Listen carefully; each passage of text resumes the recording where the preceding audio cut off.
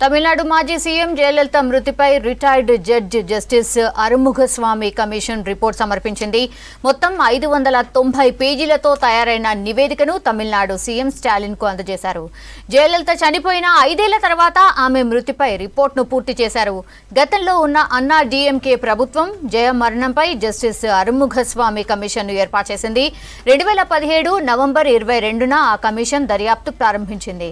జయలలిత చనిపోయేందుకు గల కారణాలు రిపోర్ట్లో తెలిపింది రెండు వేల పదహారు డిసెంబర్ ఐదున చెన్నై అపోలో హాస్పిటల్లో ట్రీట్మెంట్ తీసుకుంటూ జయలలిత చనిపోయారు.